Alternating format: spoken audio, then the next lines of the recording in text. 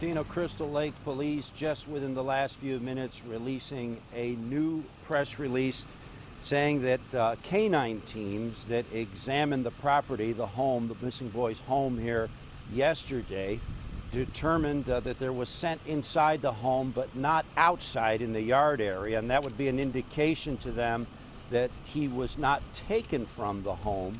Uh, of course, the boy disappearing Wednesday evening, according to parents. A lot of unanswered questions. Investigators have been very tight lipped about their investigation, uh, and we are starting to learn more now.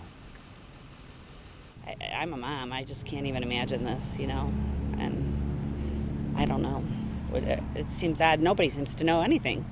Yeah. I mean, how does a five year old just disappear?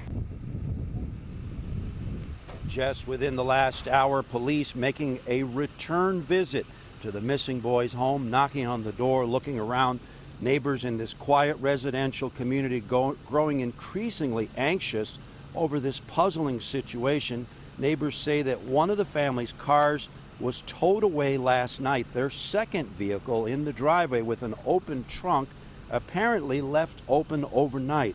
Now, we have seen no sign of the boy's family today. There is no organized community search or an Amber Alert. The missing five year old goes by the name of Andrew or AJ Freund. He's three and a half feet tall, weighs 70 pounds, with short blonde hair. Yesterday, investigators could be seen leaving the boy's home on the 100 block of Dole Avenue. They left carrying away brown paper bags, the type of bags used by evidence technicians. Dogs were also seen sniffing around the trunk of a family car. Little AJ Freund was said to have disappeared Wednesday close to 9 p.m. After waking up yesterday morning, the parents reportedly told police that the boy had vanished. Now, the search for the five year old began. Investigators even conducted a water search at nearby Crystal Lake, but that search uh, has been suspended on the water. Once again, no Amber Alert issued. We are told that is because law enforcement uh, determined or were unable to confirm that that abduction took place. Neighbors are perplexed that nobody saw this five year old wandering, or wandering away from the home. At the time AJ was last seen Wednesday night, thunderstorms were rolling in. As I sat outside, it was nice till about nine. Didn't notice anything, and then storms rolled in.